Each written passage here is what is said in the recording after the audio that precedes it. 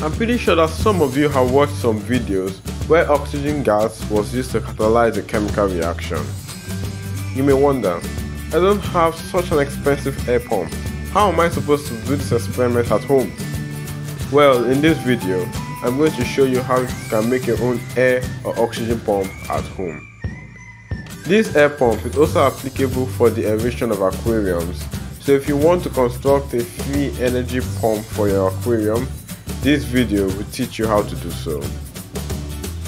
First of all, you need to get two plastic bottles of different sizes, one bigger than the other.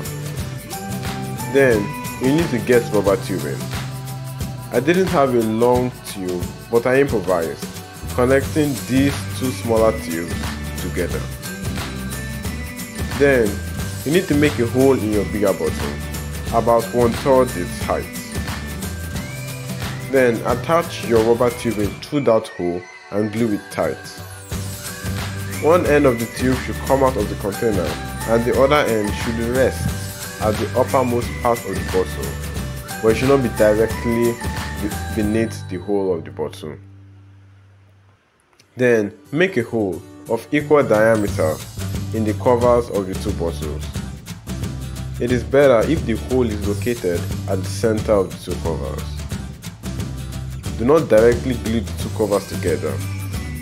Rather, attach a short tube in the holes first, then glue the two covers together alongside with the tube. After it dries, it is advisable to tape the sides with sellotape to support the glue. Next, make a hole near the base of the smaller bottle. Then get something to lock it like a valve. But I didn't have that, so I use a small spill because it is efficient and was the easiest thing I could find. Now we are done.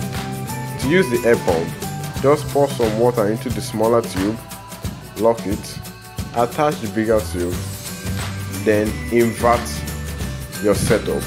Remove the lock from your smaller tube and insert the external tube into your aquarium or maybe your chemical solution and there you have it a free energy homemade air pump.